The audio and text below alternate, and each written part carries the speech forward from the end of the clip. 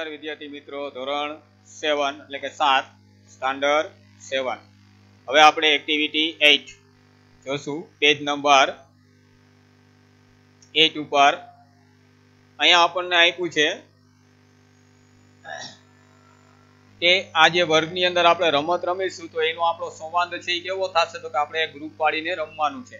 વર્ગની અંદરના વિદ્યાર્થીઓ ડી ડી ડાન્સ શું તેણે નૃત્ય કર્યું તો તેને જોનારા, નો હી ડીડન તેને જોવાવાળા કહેશે કે ના, તેણે નૃત્ય કર્યું નથી. વિદ્યાર્થી છે ડીડ હી જમ્પ વિદ્યાર્થીઓ પૂછશે કે શું તેણે કૂદકો માર્યો? તેને જોનારા કહેશે યસ હી ડીડ હા, તેણે કૂદકો માર્યો. હવે એવી રીતે આપણે વર્ગની અંદર રમવાનું છે. હવે અહીંયા જુઓ, આપણને ડોક્ટર સ્મિતા અને મનોજભાઈ સરપંચના એક દિવસની કાર્યની માહિતી આપી છે તે આપણે વાંચવાની છે. ડોક્ટર સ્મિતા અને મનોજભાઈ સરપંચ છે. ડોક્ટર સ્મિતા છે hoisted flag at high school hoisted એટલે કે ફરકાવવું અને ફ્લેગ એટલે ધ્વજ. ધ્વજને ફરકાવવું. Delivered a lecture operated upon the patient અને spent an hour with differently abled children Manojbhai સરપંચે શું કર્યું હતું કે hoisted flag at the primary school અહીંયા હાઈસ્કૂલમાં છે અને અહીંયા પ્રાઇમરી સ્કૂલમાં છે. ડિસ્ટ્રીબ્યુટેડ સ્વીટ્સ ડિસ્ટ્રીબ્યુટ એટલે વહેંચણી કરવી અને સ્વીટ એટલે મીઠાઈઓ. પછી ઇન એગ્યુરેટેડ અ ડેરી ડેરી એટલે કે દૂધની જે ડેરી હોય છે એની મુલાકાત. પછી talked with the head teacher about the school progress હવે આપણે જોઈએ એને આગળ. તો કે હવે નીચેના વાક્યને ધ્યાનપૂર્વક વાંચીએ અને ખાલી જગ્યા પૂરવાની છે. વિદ્યાર્થી મિત્રો, આપણે આ પૂરવાની છે ભૂતકાળની અંદર અને આપણે ભૂતકાળમાં જ આપ્યું છે. અહીંયા આપણને એક્ઝામ્પલ આપ્યું છે. જુઓ. Doctor Smita hoisted the flag at high school તો અહીંયા આપણે ડીટ લઈને એનું પ્રશ્ન વાક્ય બનાવ્યું. એટલે હોસ્ટેડનું અહીંયા વોઇસ્ટ થઈ ગયું, એટલે કે વી વન કરી નાખવાનું છે. તો ભૂતકાળનો નિયમ છે કે વાક્ય ભૂતકાળમાં હોય એનું પ્રશ્ન વાક્ય બનાવીએ ત્યારે તો કે સહાયકારક ડીડ મૂકી અને ભૂતકાળનું જે ક્રિયાપદ આપ્યું એને ના મૂળ રૂપમાં ફેરવી નાખવાનું. બરાબર? હવે અહીંયા આપણે બીજું વાક્ય જોઈએ. મનોજભાઈ ડિસ્ટ્રીબ્યુટેડ સ્વીટ્સ તો અહીંયા આપણને ભૂતકાળ આપ્યો છે. અહીંયા આપણે પ્રશ્ન વાક્યમાં શું મૂકશું? વિદ્યાર્થી મિત્રો, તો અહીંયા આપણે મૂકવાનું છે did doctor Smita distribute sweets તો કે નો સી ડીડન ત્યારબાદ ત્રીજું આપ્યું છે ડોક્ટર સ્મિતા તો અહીંયા ઓપરેટ આપ્યું છે. એનું અહીંયા ઓપરેટેડ પેલા કરી નાખો. O R A T E D operated upon the patient તો અહીંયા આપણે did she operate at upon the patient તો કે યસ સી ડીડ ત્યારબાદ ચોથું છે doctor Smita Smith spent an hour with the differently abled the children હવે અહીંયા આપણે લખવાનું છે ડીડ મનોજભાઈ પછી અહીં સ્પેન્ડ આપ્યું છે, એનું શું થઈ જશે વિદ્યાર્થી મિત્રો? તો કે સ્પેન્ડ અહીંયા વી ટુ આપ્યું છે, એનું અહીંયા આપણે વી વન કરી નાખવાનું. An hour with the differently abled children તો કે અહીંયા યસ સી ડીડ ત્યારબાદ મનોજભાઈ મનોજભાઈએ શું કર્યું હતું? તો કે આપને અહીંયા આપેલું છે. જુઓ વિદ્યાર્થી મિત્રો, એને શું કર્યું હતું? તો કે ઇન એગ્યુરેટેડ એ આપણે અહીંયા લખવાનું છે. બરાબર? એનું ભૂતકાળનું રૂપ છે એ અહીંયા તમારે લખી નાખવાનું છે. અને ત્યારબાદ અહીંયા એનું મૂળ રૂપ. પછી અહીંયા લખવાનું yes E D Manojbhai talked with the head teacher about the school progress. હવે અહીંયા આપણે ડીડ લાઈન બનાવશું. તો કે ડીડ, મનોજભાઈ ટોકડ એટલે અહીંયા ટોકડ આપ્યું છે, એનું અહીંયા શું થઈ જશે? તો કે ટોક ઈડી નીકળી જશે.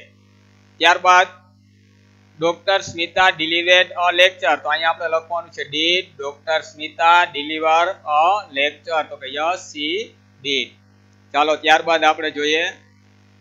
અહીં મનીષની બે નોંધ ભેગી થઈ ગઈ છે. તેમાં તેણે ગઈકાલે કરેલા અને આવતીકાલે કરેલા કાર્યની નોંધ છે. તો બંને નોંધ અલગ પાડીને આપણે લખવાની છે. વિદ્યાર્થી મિત્રો અહીંયા બે નોંધ એટલે કે ભૂતકાળ અને એક ભવિષ્યકાળ ભેગા થઈ ગયા છે. જો યસ્ટરડે છે અહીંયા ભૂતકાળ અને ટુમોરો છે અહીંયા ભવિષ્યકાળ કરવાનો છે.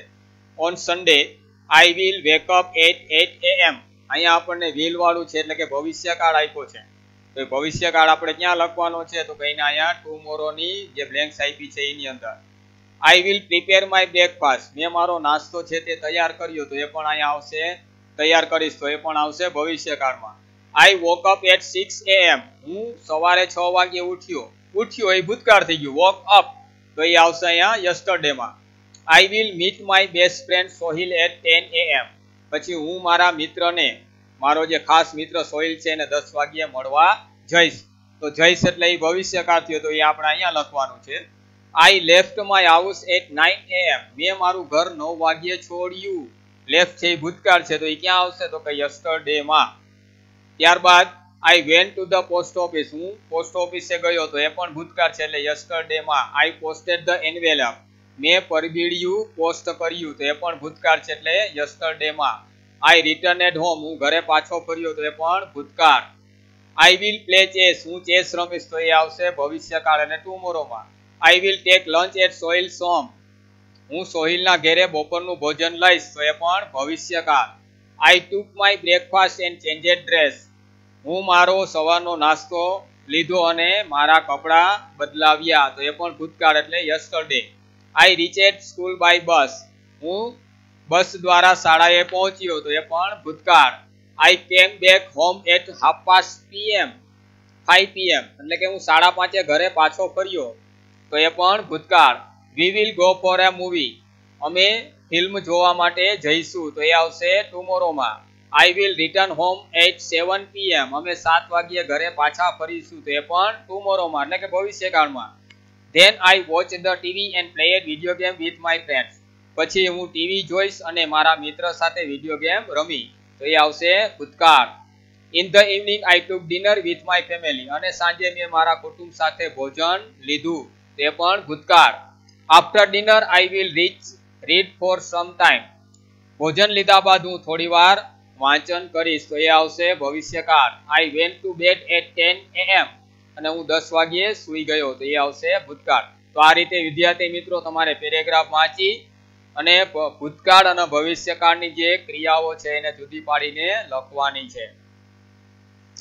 હવે એક્ટિવિટી ઇલેવન જુઓ. Read the following text Asma lives in Gandhinagar. Asma ગાંધીનગરમાં રહે છે. One day her cousin Rizwan come there એક દિવસ તેનો પિતરાય ભાઈ રિઝવાન છે તે તેને ત્યાં આવે છે. She went to the bus station to receive him તેણી તેને લેવા માટે બસ સ્ટેશને ગઈ.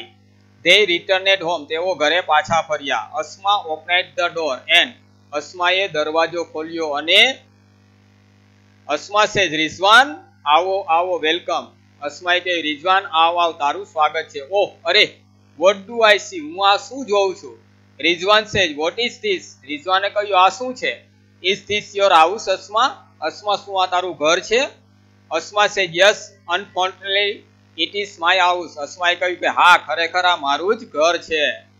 Rizwan says but you can't arrange things like this રિઝવાને કહ્યું, પરંતુ તું આ રીતે તો વસ્તુઓ ગોઠવી ના શકે. Only a monkey can do it ફક્ત આ વાંદરો જ આવું કરી શકે. Asma says oh my God અસ્માએ કહ્યું, અરે મારા ભગવાન the back door was not closed પાછળનો દરવાજો બંધ ન હતો. I forget forgot to close it હું તેને બંધ કરવાનું ભૂલી ગઈ હતી. Rizwan says oh dear look there on the tree રિજવાને કહ્યું, અરે વાલી, વૃક્ષ ઉપર જો. The lucky monkey is eating your potato chips નસીબદાર વાંદરો તારી બટેટાની ચીપ ખાઈ રહ્યો છે. Asma say those chips were for you અસ્માએ કહ્યું કે એ ચીપ તારા માટે હતી. So the monkey is than you તેથી, વાંદરો તારા કરતા વધારે નસીબદાર છે. Rizwan says okay let's rearrange the room in civilised way રિજવાને કહ્યું, બરાબર, ચાલ, હવે આપણે આ રૂમને પાછો હતો તેવો સરખી રીતે ગોઠવી દઈએ.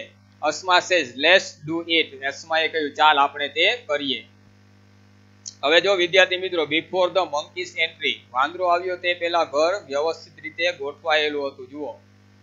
છે, અહીંયા ફૂલદાની છે, અહીંયા એક મૂર્તિ છે, અહીંયા ટેબલ ફેન છે, અહીંયા બેડ છે.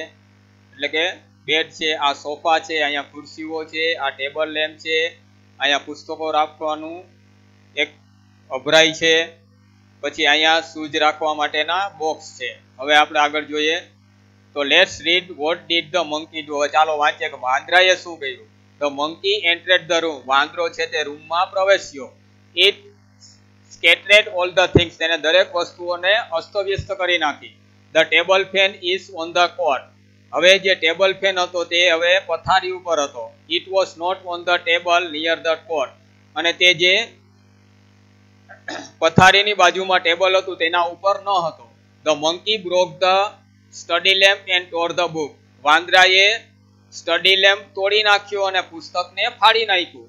The monkey took out shoes from the shoes stand and threw them out વાંદરાએ shoes રાખવાના સ્ટેન્ડમાંથી એટલે કે બૂટ રાખવાના જગ્યાએથી બૂટો કાઢી અને તેને બહાર ફેંકી દીધા. The monkey threw the statue on the floor વાંદરાએ નાનકડી મૂર્તિ ફ્લોર ઉપર ફેંકી. It was in the corner તે ખૂણામાં હતી. ધ કપબોર્ડ વોઝ ક્લોઝડ કબાટ બંધ હતો. નાવ ઇટ ઇઝ ઓપન હવે તે ખુલ્લો છે. The monkey put the flower vase on the sofa વાંદરાએ ફૂલદાની સોફા ઉપર મૂકી. It was on the stool તે ટેબલ ઉપર હતી. All the chairs were upset down અને દરેક જે ખુરશીઓ હતી તે અસ્તવ્યસ્ત હતી. હવે now complete the following picture after the monkey's visit હવે આપણે આ વાંદરાયા ઘરની મુલાકાત લીધી. પછીનું જે દ્રશ્ય છે એ આપણે અહીંયા કરવાનું છે. હવે જુઓ, વિદ્યાર્થી મિત્રો, આ તમારે ખાસ કરવાની છે એક્ટિવિટી ટ્વેલ્વ તમે પણ ફ્લાઇંગ બાઇસિકલ જેવું સાધન બનાવવા ઈચ્છતા હશો ને? તેનું ચિત્ર અહીં દોરો ને તેના ભાગોના નામ અંગ્રેજીમાં લખો. તેમાં તમે કયો વૈજ્ઞાનિક નિયમ અપનાવ્યો તે પણ નોંધો. હવે અહીંયા વિદ્યાર્થી મિત્રો, આપણે પાઠ શીખી ગયા છીએ. એની અંદર જે ઉડતી સાયકલ દર્શાવી છે, એ સાયકલ તમારે અહીંયા સરસ રીતે દોરી અને પૂર્ણ કરવાની છે. ચાલો વિદ્યાર્થી મિત્રો, આટલું તમારે આજે લેસનમાં તૈયાર કરવાનું